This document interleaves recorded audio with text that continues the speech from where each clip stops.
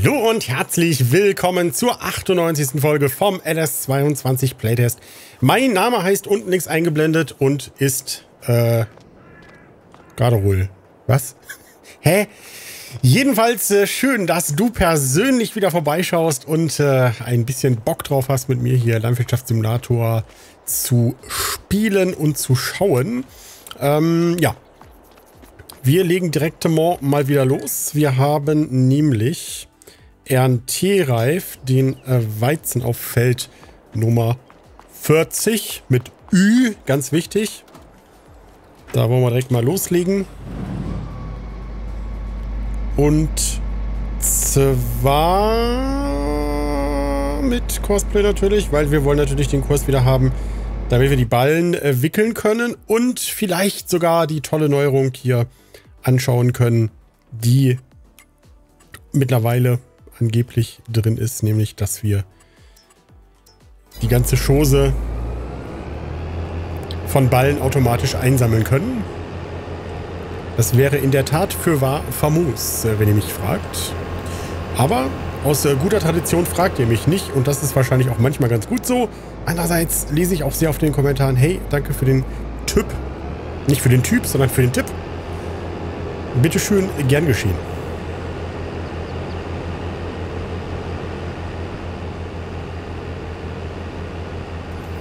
So. Erster Wegpunkt ist natürlich falsch. Erster Wegpunkt ist natürlich richtig. Ab geht die Lucy. Ich habe vollstes Vertrauen. Und wir holen dann mal den Abfahrer ran. Ähm, dann nehmen wir den Fendt. Wer, wer Fendt fährt, führt. Gucken wir mal kurz, ob wir vorher nochmal eben Jo, 9,33. Da machen wir die eben auch nochmal voll. Ja, und ihr seht, unser Kontostand hat sich ganz schön minimiert nach dem Sehen des Zuckerrohres, was nämlich ganz schön teuer war. Was hat der eigentlich für ein Problem hier? Und ähm, ich überlege jetzt, ob wir den Weizen, ob wir den wirklich komplett verkaufen sollen oder wieder hier einlagern. Und die Zeichen stehen doch... Die Zeichen stehen doch sehr stark auf verkaufen, weil wir noch 100.000 Liter für die Hühner. Obgleich wir natürlich beim letzten Experiment herausgefunden haben, dass es sich schon sehr lohnt, das Futter einmal durch die Tiere durchlaufen und dadurch veredeln zu lassen. Wobei, was dabei direkt herauskommt bei den Tieren, ist jetzt, macht jetzt nicht unbedingt einen veredelten Eindruck, aber ihr wisst ja, wie ich es meine. Hat da jemand gute Laune? Ja, es ist Sonntag und Aufgabe Plus ist gerade ein Herzensprojekt relaunched und äh, ich bin immer noch ein wenig bewegt. Sollte man ja kaum glauben. Bei so einem alten, sturen... Bin ich alt und stur? Ich glaube nicht. So, kleiner Cheat-Trick, wenn ihr nicht drauf warten wollt. Einfach abhängen, das Ding fährt automatisch runter. Ist in der Realität übrigens auch so. Die meisten Anhänger haben dann so ein äh, wie soll ich das nennen, so ein, so ein Ablassventil dann auch nochmal.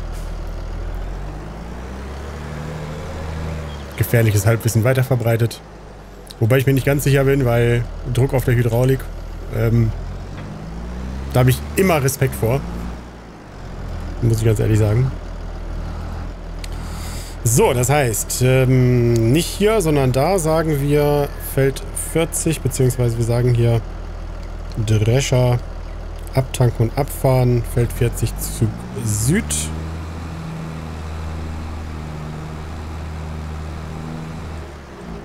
And that's what that is. Und dann können wir eigentlich schon wieder loslegen.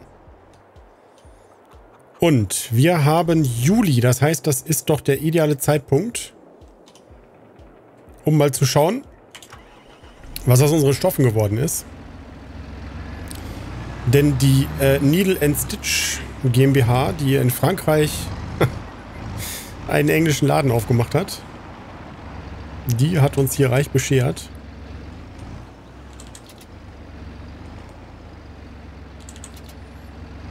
Mit fünf Paletten Kleidung. Das sollte unseren Kontostand etwas anheben. Wir müssen allerdings, das äh, meint you, wir müssen allerdings irgendwie noch hinkriegen, dass wir uns für das... Ich weiß nicht, ob der... Ob der Häcksler, also der Zuckerrohrernter, ob der das hinbekommt.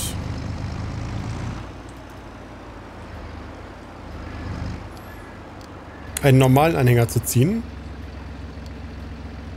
Deswegen müssen wir immer im Hinterkopf behalten, dass wir da nochmal möglicherweise dran müssen. Und äh, deswegen bin ich da noch ein bisschen von zurückhaltender Begeisterung.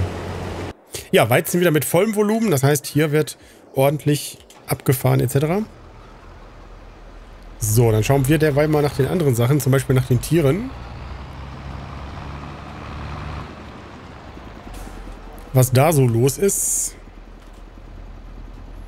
Gut, wir könnten hier mal eine ganze Fuhre Stroh wieder reinfahren. Gott sei Dank haben wir da ein bisschen am Hof gelagert und es kommt ja auch neues Stroh jetzt an. Aber immer noch so ein bisschen im Hinterkopf den Gedanken, dass wir uns eine Strohhalle dann irgendwann mal bauen sollten. Irgendwas so in die Richtung. Bevor wir jetzt hier die neuen Ballen pressen, dann nochmal eben ein paar von den alten hier an die Seite geräumt, beziehungsweise in die Kühe reingeräumt. 18.000 Liter Milch ist natürlich auch eine Ansage.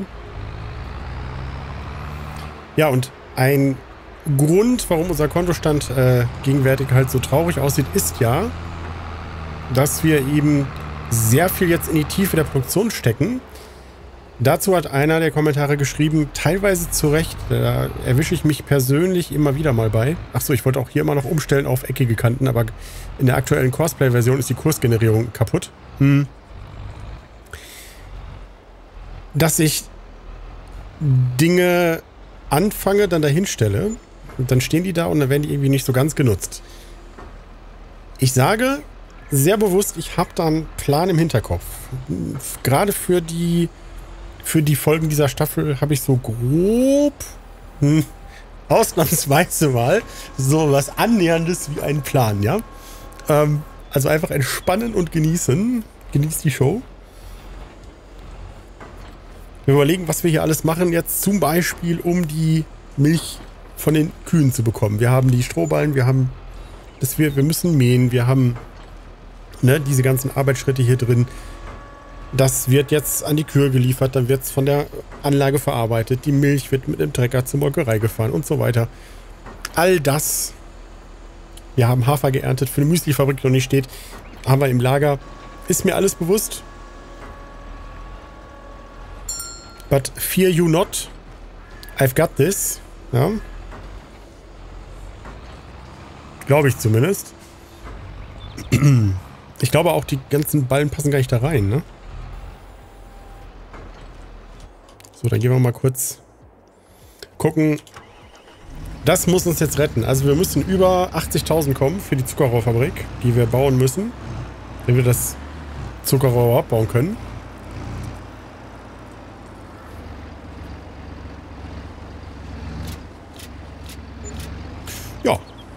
Ich würde sagen, das ist gelungen. Dann fahren wir die mal wieder zur Spinnerei. Ja, und der hat auch schon die erste Ladung Weizen drauf. Ach, Kartoffeln müssten wir auch mal wieder, ne? So, war denn noch irgendwas, was wir im... Uh, der, oh, das war knapp. War denn noch irgendwas, was wir im Juli verkaufen? Nö, ne? August, September, Oktober haben wir nochmal. Oktober haben wir nochmal so ein paar Sachen. Oktober, November. Muss ich gleich mal auf meine schlaue Liste schauen, beziehungsweise das kann ich ja machen, während der hier... Das dauert ja immer so ewig, bis das Gestell hier weggeklappt ist. Und ich muss ganz ehrlich sagen, ich bin ja nicht selbstverliebt, ähm, was eigentlich ein bisschen komisch ist. Ne? Ich glaube, wenn man jahrelang im Internet Menschen unterhält, die einem Feedback geben, dann ist das so eine Gefahr, glaube ich, der man ausgesetzt ist. Ich persönlich habe ein wenig ausgeprägtes Selbstbewusstsein. Äh, wisst ihr ja. So, im Oktober verkaufen wir, was, äh, Juli. August, verkaufen wir irgendwas im August? Ähm, nö. Im September verkaufen wir Kleidung, haben wir gerade gemacht. Und Zucker. September. Interessant. Das Zuckerrohr, welches wir im September, glaube ich, auch ernten. Wir gucken mal kurz nach. Das ist nämlich gar nicht mehr, wann das. ist denn das erntereif? Ne, im Oktober, genau. Und im Oktober verkaufen wir nämlich. Was? Milch würden wir verkaufen, wenn wir sie verkaufen könnten. Rosinen, wenn wir welche hätten. Butter und Käse. Naja, genau. Das würden wir nämlich damit machen. Dann würde ich sagen, dass ich bis Oktober noch ein bisschen Käse produziere. Und hier packen wir mal die Ballen da rein. Das werden ein paar zu viele sein. Aber den Kühen soll es ja auch gut gehen. Die Gedanken mit, der, mit dem Mist hatte ich, glaube ich, schon erwähnt. Ja, wir, mähen müsste ich auch nochmal, aber das lassen wir jetzt erst einmal.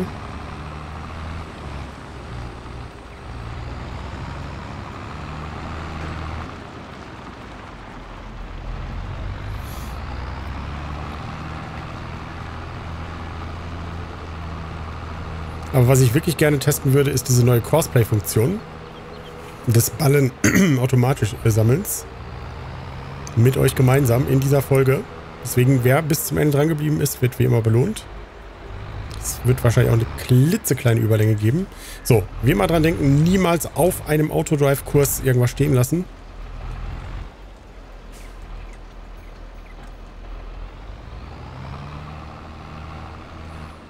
So,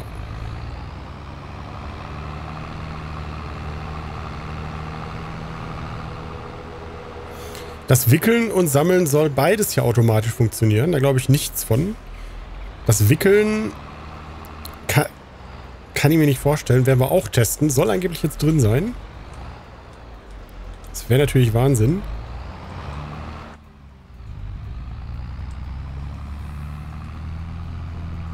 So, wie, wie das vom Prinzip her funktioniert beim Wickeln und Sammeln.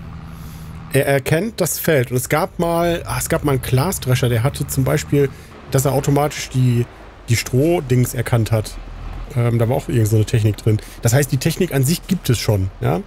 Äh, weiß nur nicht, inwieweit die dann auch genutzt wird. So. Also, in der Theorie äh, funktioniert das wie folgt. Wir erstellen einen neuen Job für das Feld äh, 40, 41, 42 weiter. Ne? Unser, unser Riesenfeld hier. Wir sagen nicht Feldarbeit, sondern Ballen sammeln und wickeln. Ich glaube, dass mit Ballen wickeln nicht Ballen pressen gemeint ist, ja. Aber vom Prinzip her funktioniert es so, dass ich das dann als, als Arbeit auswähle. Aber ich glaube, wickeln ist damit nicht gemeint. Das heißt, hier müssen wir also beim Pressen müssen wir noch klassisch ran. Ich wollte jetzt einfach einmal, um das jetzt zu zeigen, werde ich mal eben ein, zwei Ballen von Hand pressen. Wobei da jetzt auch noch ein Heuball mit rauskommt. Das ist natürlich nicht so schön. Aber was willst du machen?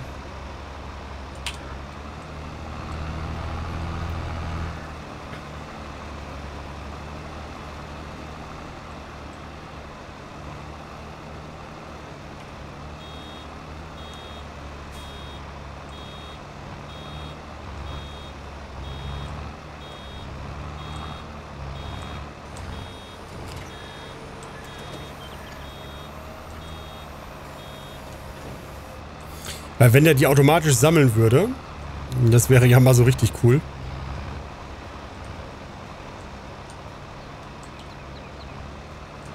So.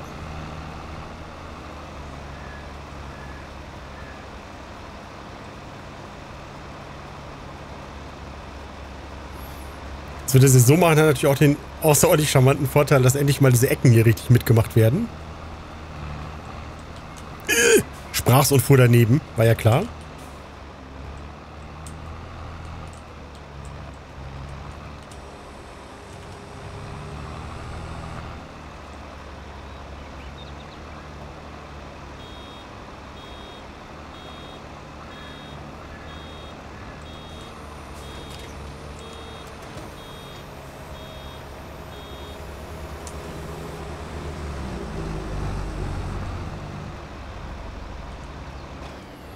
So. Dann testen wir das mal. Wahrscheinlich wird es mit zwei Ballen und wenn da noch ein Drescher rumfährt, eh nicht funktionieren.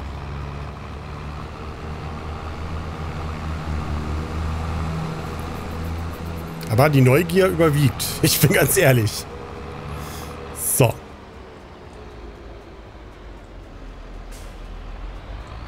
Ich werde ihm auch ein ganz kleines bisschen helfen. Alright. So. Also, wie funktioniert das? Kein Kurs. Kein Kurs haben wir nicht. Wir sagen, äh, ja, genau. so, Kurs ist raus, genau. Ähm, wir sagen Job erstellen. Dann sagen wir Ballen sammeln, wickeln. Fahrzeug ist das, wo wir gerade auch sind. Zielposition. Wir sind gerade hier vorne. Dann sagen wir mal, ja, wir helfen ihm ein bisschen, ne? Dann gehen wir mal hier hin. Feldposition da. So. Das ist angeblich alles, damit er diesen Ballen automatisch auf dem Feld sammeln Job starten kann. So, er hat jetzt die, den anderen Kurs gelöscht. Nutzt jetzt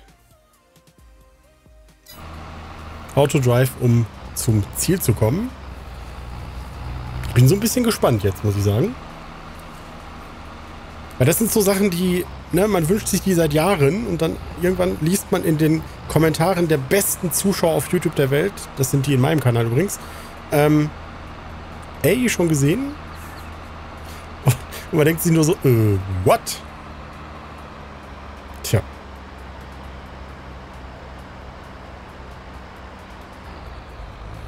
So, dann sind wir mal gespannt. Also, er fährt jetzt aufs Feld in die Nähe von dem Einstiegspunkt, den ich genannt habe. Ich mache nichts. Ich kann auch hier mal von meinem Mikrofon ganz weit weggehen. Mich zurücklehnen, auch ein bisschen die Füße und das Mikrofon. Wer es vielleicht mag, so mit Füßen und so, gibt es ja auch. Und äh, den Rest macht er jetzt.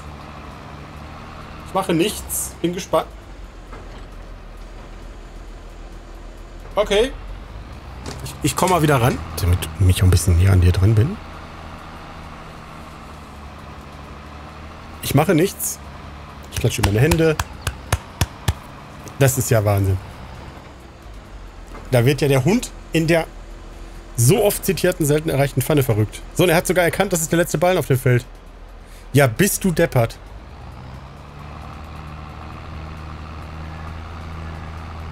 Ja, was soll ich denn jetzt in Zukunft noch machen? oh Mann, ist das cool. Und mit diesem tollen Gefühl, dass wir etwas äh, Fantastisches Neues entdeckt haben. Das wird ja auch fürs Wickeln und das funktioniert ja dann alles. Ah, Leute. Ist das super.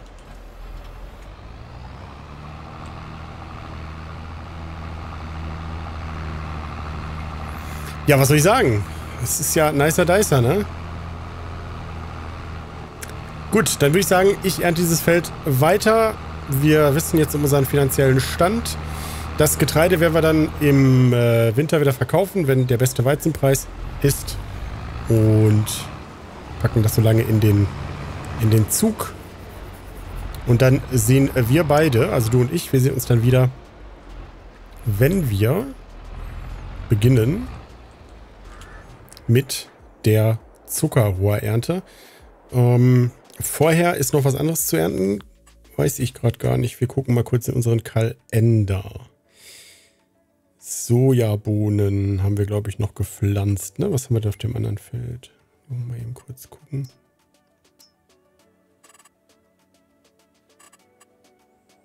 So, da ist unser Zuckerrohr, genau.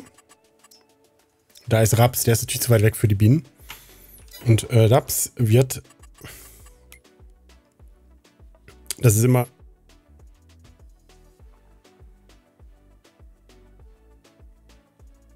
Wird auch jetzt geernt, okay. Ja, dann mache ich das auch noch. Ja, Ballenpressen sammeln kennt ihr schon. Ähm, ja. Da würde ich sagen, die nächste Folge steht unter dem Oberthema Zuckerrohr ernten und Zuckerrohr ernten und ähm, bin ich mal gespannt, wo wir dann gelandet sind. Ich, da wir das im Oktober ernten, würde ich noch mal ein bisschen Milch zur Molkerei fahren und die Produktion wieder auf Käse umstellen. Da kann ich nämlich noch Käse verkaufen. Und ja, ich hoffe, dann sehen wir uns in der Kürze wieder. Etwas längere Folgen. Danke an die fantastischen Unterstützung durch euren Daumen. Der bringt mehr, als ihr denkt. Eure Kommentare auch. Die bringen auch mehr, als ihr denkt. Schön, dass ihr mich so unterstützt. Vielen lieben Dank. Das ist nicht selbstverständlich. Ich äh, freue mich. Und ähm, ja, wir sehen uns dann hoffentlich in einer der nächsten Folgen wieder. Macht's gut, tschüss und bis bald.